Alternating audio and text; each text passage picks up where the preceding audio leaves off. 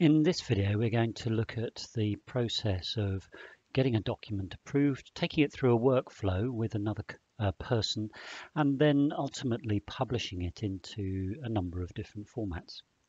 So here's a sheet that we created previously in an earlier video, and having produced that piece of work, I'm logged in as Steve Granger. I want to get it approved. Um, if I flick to my metadata tab here, you'll see that this contains all the information about this particular drawing, but it also has the option of assigning an approver. Now, normally you would have that assigned for the project. I've left that blank for demo purposes, and you can see that I'm assigning Abigail approver, and I'm going to save that. So we've got an approver for this drawing, and if I go to my workflow tab, you'll see that we've got a workflow defined for this. Now, this happens to be the ISO 19650 workflow. If I was working on a different project, I can have a different workflow presented to the user. But here's my workflow. And as Steve, I can see that I'm at WIP. I'm at work in progress. That's also echoed here. It's, the drawing is at WIP. And I now want to move it forward. I'd ideally like to go to WIP approved, but I can't skip the approval process. I need to get it approved by somebody else. We've just identified that person as being Abigail. So all I need to do now is pick WIP for approval. You'll see the status here has changed to WIP for approval.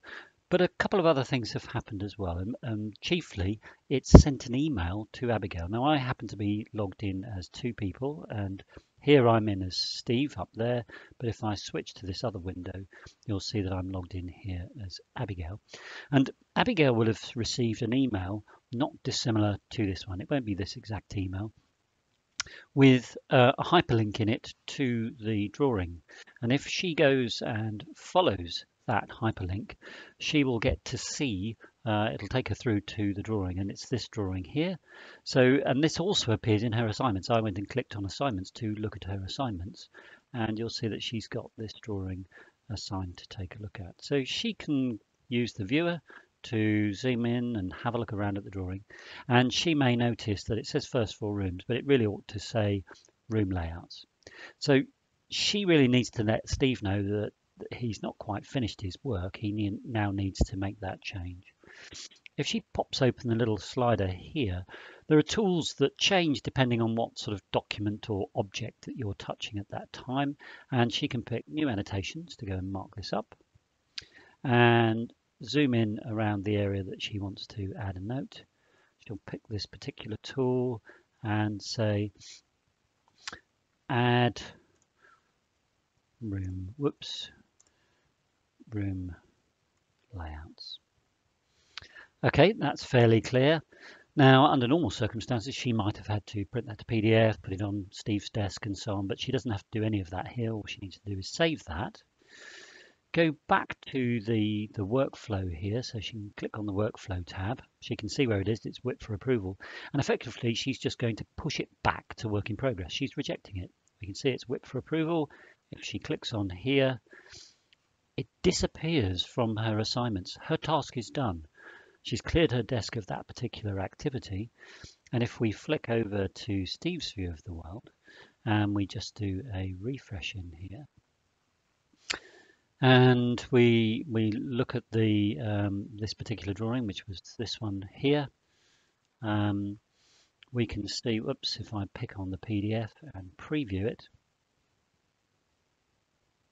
we'll see that it's got a markup. He would have received an email, by the way, very similar to the one that we saw earlier, but because Abigail had rejected it. So he would receive that email, follow through that link, and he would see that, okay, I've got to add room layouts. So he can pop back into Revit. He could go and edit this directly in Revit, but we make it a little bit easier for people by having a button up here to edit properties.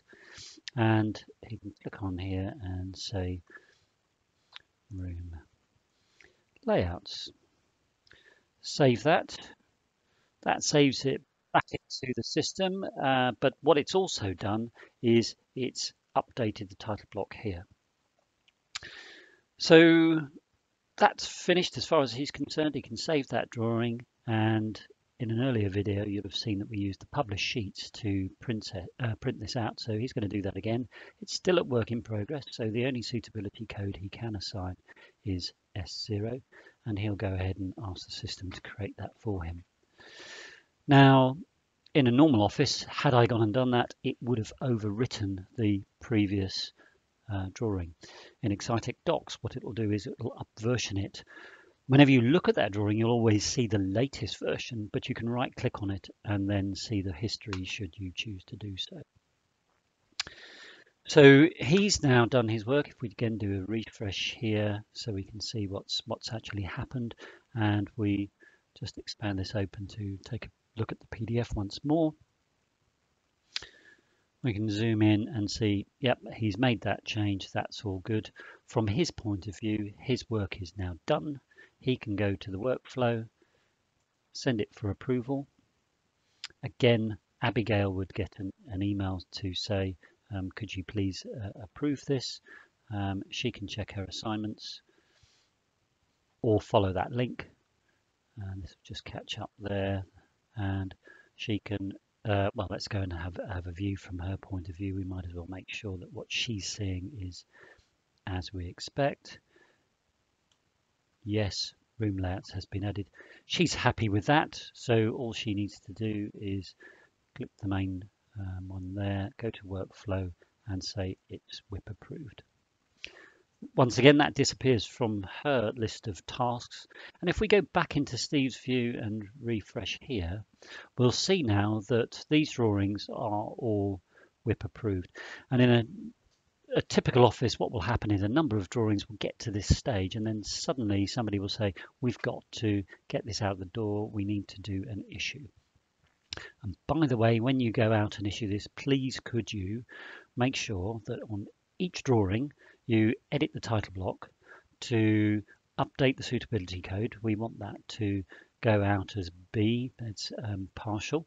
Um, we also, uh, what we want to do is um, update the revisions where necessary. And when we go out to published, um, because we're working in this ISO 19650 world, don't forget that the revision, which may be at P0, in this case, as you can see, because we've upped it, um, is now at P01.02. You've got to strip off the 02. So please make you do sure you do that for each drawing.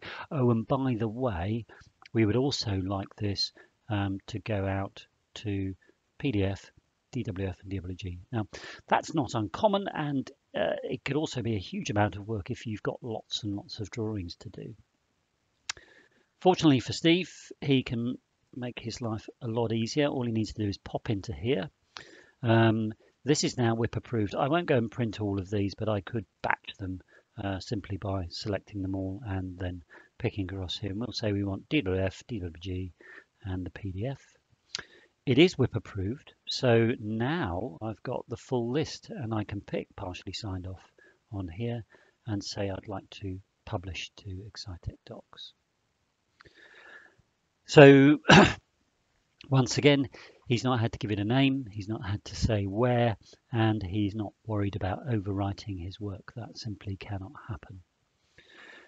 Also, he's not having to go into each sheet to edit the the title block, it's all going to be done automatically for him so that, um, and we'll see that in a second, that the P01 has been stripped off and so on. So if we go back into um, Excitech docs here, this went to published and if, if I look here, this is a simple navigator here, helps me go between the different folders. We've got shared and published as identified in the ISO 19650.